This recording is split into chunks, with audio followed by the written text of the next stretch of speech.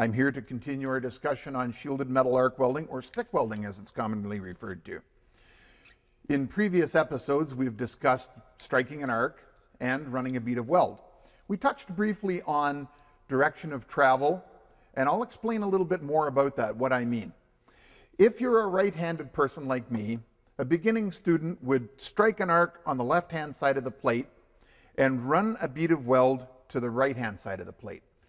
Angle the electrode somewhat like that and make a nice, smooth, even bead of weld. The reason why we do this uh, for students is they need to be able to see the puddle at all times. We don't want them to get it in behind the electrode holder where they can't see it.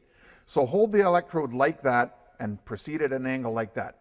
A nice, even, smooth speed of travel, the appropriate angle on the electrode, and uh, we will proceed uh, to make uh, multiple passes on the plate, fill it, and make nice, cosmetically good looking welds. It's very important.